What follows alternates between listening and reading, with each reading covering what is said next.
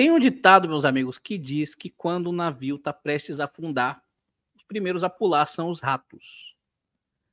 Resta saber se você vai ser um rato e vai pular do navio do peixão, que corre o risco de afundar, mas ainda não afundou. Santos 1, Inter 7, resultado dificílimo de ser digerido, mas novamente, nosso navio ainda não afundou. Eu acho que gerar caos, gerar crise nesse momento, e olha que é muito fácil fazer isso, hoje tem xingamento para todo mundo, mas eu vou ser mais econômico nas palavras em respeito ao meu time, em respeito à torcida do meu time, em respeito ao momento que o Santos passa. A gente precisa de qualquer coisa, menos de caos, menos de desordem, menos de briga. A gente precisa olhar para frente. O próximo jogo é contra o Curitiba, dentro de casa, e a gente vencendo o nosso jogo, a gente tem uma grande chance de sair do Z4 mesmo que temporariamente, né? Porque os próximos jogos vão ser contra Corinthians e Flamengo, fora de casa, enfim. Uh, antes da gente começar a fazer o nosso review, nosso vídeo de análise e comentários, já sabe, verifica a sua inscrição. Se inscreve, deixa o like, por favor, nos siga nas redes sociais, Facebook, Instagram, Twitter, Threads e faça o seu cadastro na Betano, caso você queira concorrer a uma camisa oficial do Peixão. Quer concorrer a uma camisa oficial do Santos? Faz o seu cadastro na Betano, o link está aqui na descrição para você se cadastrar. Se cadastrou, deixa nos comentários hashtag participando. Tá? Faz o seu comentário, no final do seu comentário, deixa um hashtag participando ou só hashtag participando, se você não tiver comentário, mas queira participar. Beleza? Bom. Difícil. Hoje é um jogo que deixa um terreno muito fértil para os engenheiros de obra pronta né? E eu não estou falando que os alvos dos engenheiros de obra pronta não mereçam crítica, pelo amor de Deus. Tá? Mas eu vi cada análise hoje na, na, nas redes sociais que, olha, olha. Ah, porque o Vladimir, o Vladimir chama gol, o Vladimir. Ah, eu, eu, vi um comentário falando, ah, porque o João Paulo não tomaria três, no mínimo três desses sete gols. Poxa, que legal. Que legal, a gente teria perdido só de 4 a 1 Que legal, cara.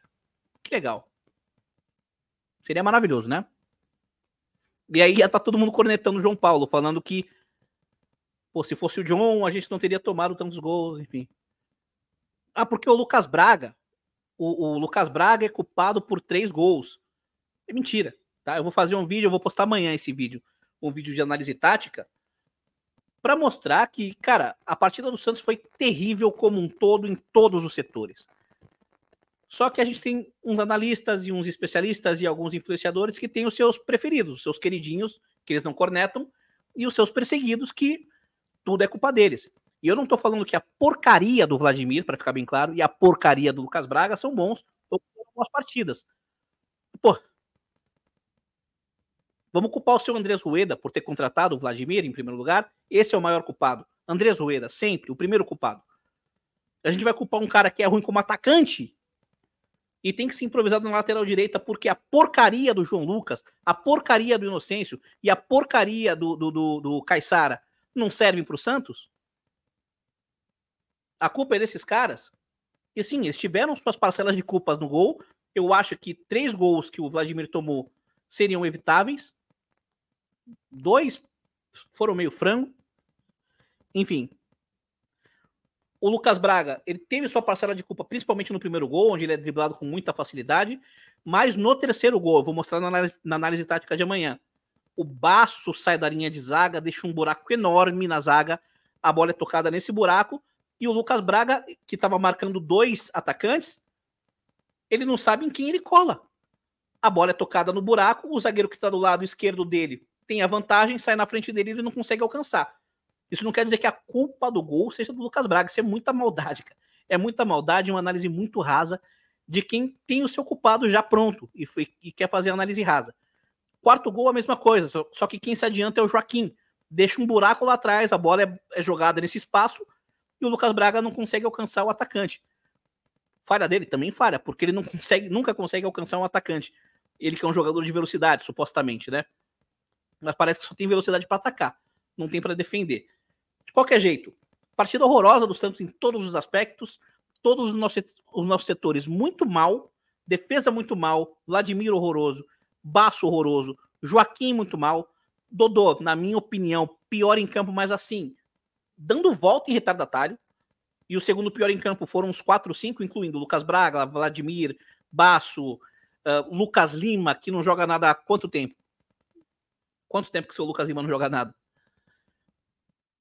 Enfim, fica até a sugestão. Para o próximo jogo, que é contra o Curitiba em casa, eu farei algumas mudanças. Nenhuma delas envolve tirar o Lucas Braga do time titular, porque infelizmente ele é o que melhor para esse setor. Ele, em algumas partidas, como contra o Palmeiras, contra o Bahia, contra o, contra o Vasco, fez partidas ok, coisa que nem Caissara, nem João Lucas, nem Gabriel Inocêncio fizeram durante a temporada toda. Jogadores do ofício. Minhas mudanças imediatas seriam tirar a porcaria do Dodô da zaga e botar o Messias. Vocês viram o gol que o Dodô entregou hoje pro, pro Alan Patrick? O Messias teria chutado essa bola para frente, com certeza.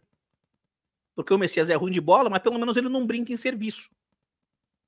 Não dá um passe displicente e ridículo desse. Isso mostra a displicência desse grupo, porque ganhou três jogos, três jogos, todo mundo ficou grandão, né?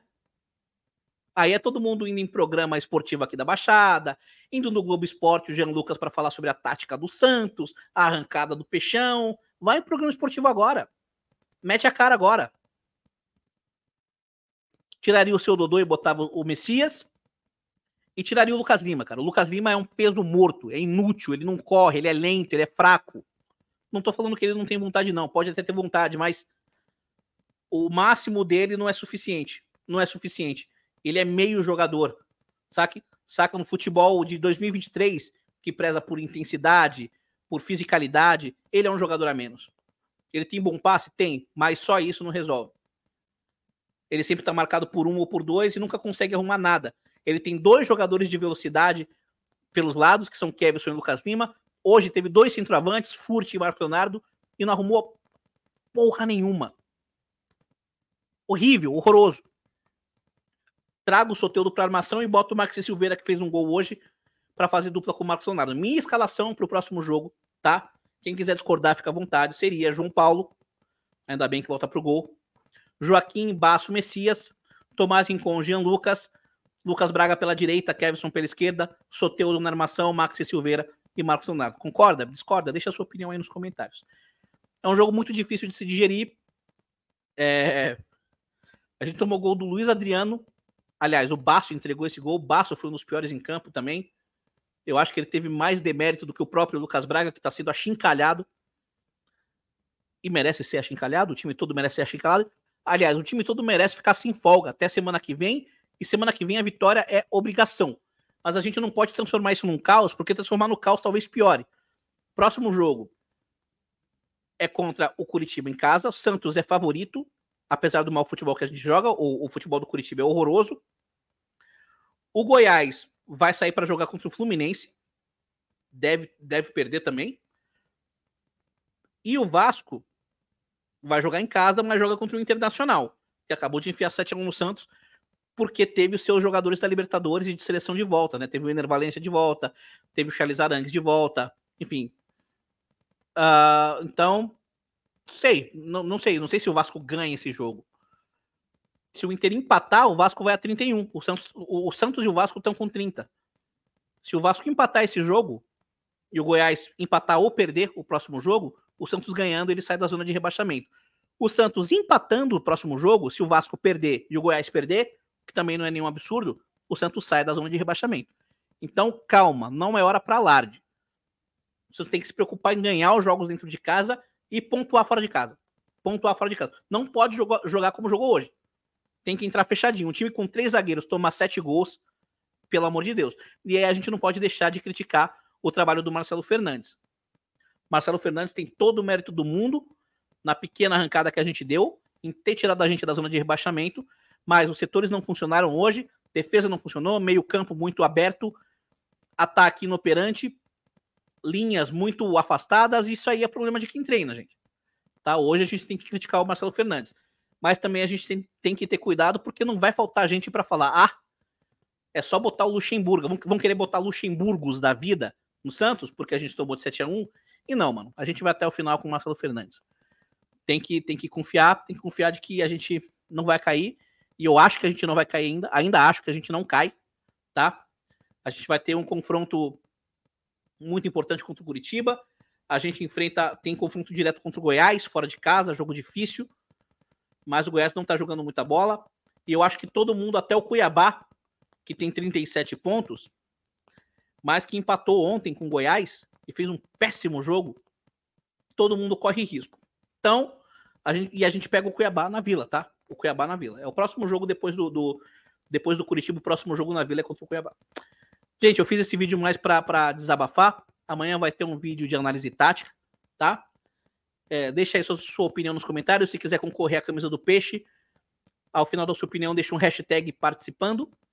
Ou se não tiver opinião, mas quiser concorrer à camisa do peixe oficial, hashtag participando nos comentários, desde que você tenha cadastro na Betano. O link para se cadastrar tá aqui na descrição, tá? Não se esqueça de se inscrever no canal, ativar as notificações Deixa o like, por favor, que é muito importante. Nos siga nas redes sociais, Instagram, Facebook, Twitter, Threads. Levantar a cabeça e seguir. Seguimos. Pra cima deles.